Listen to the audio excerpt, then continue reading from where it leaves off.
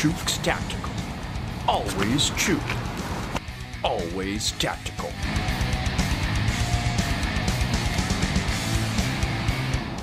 Hey guys, Chuke here with Chuke's Tactical. I wanted to do a video on my new carry style that is completely concealable. It's the most concealable way I've ever carried, except for appendix, but I'm no longer doing that, which you'll find out why next week. But, um, so I carry now at 3 o'clock. I was doing more of a 4, 4.30, um, and then Chuck with Alaskan Ballistics reminded me, why are you doing it? Why don't you just carry at 3? And I remembered I used to carry a 1911 at 3, and it's just really concealable. Um, so I don't know why I was doing it at 4, because 3 is just fine, and it's more accessible, and I like the way it feels better.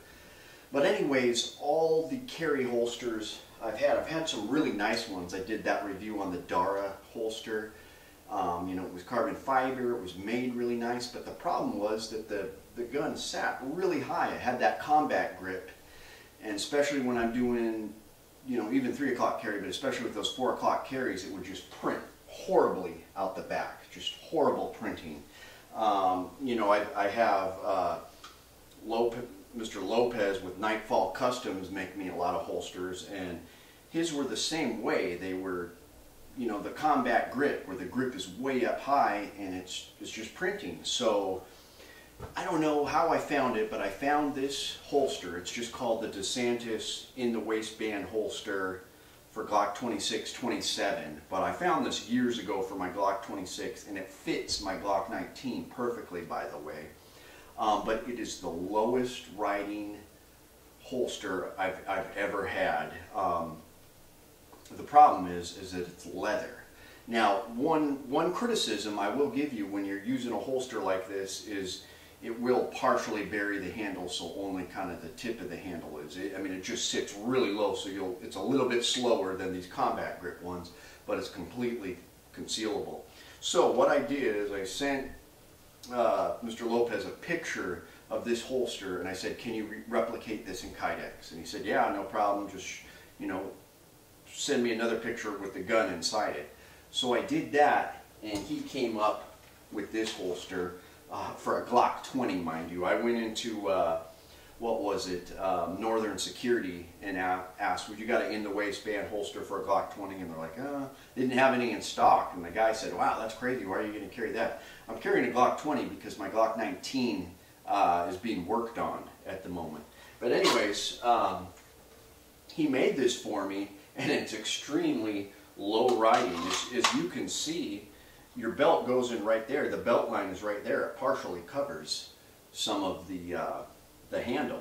And that's the way I like it. I, this is the only way I go. He's going to make me some more for the Glock 19, but um, I'll put uh, a link to Nightfall Customs on here. He's, he's pretty busy right now because um, he's just got a lot of orders. But you know that, that Dara custom holster I had, it was nice, but it took me eight weeks almost to get it. It was like six to eight weeks to get it in the mail.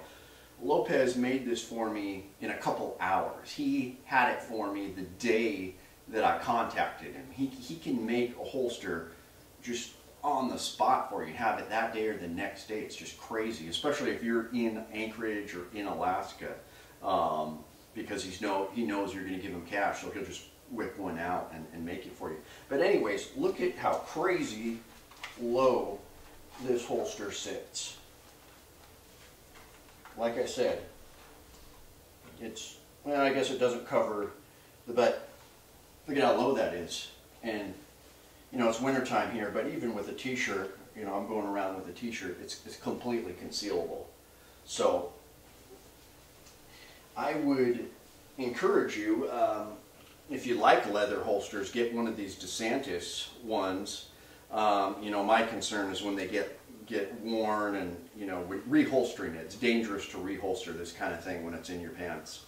Um, but just check out how concealable that is. A Glock 20, it's a full size.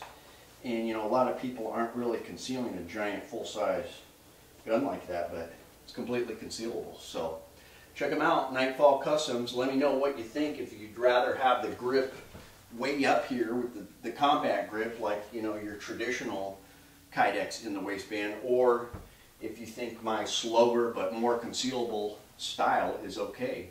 And I'm going to have another video next week about um, all the different styles of, of carry. So thanks guys. Please like and subscribe. Always true, always tactical.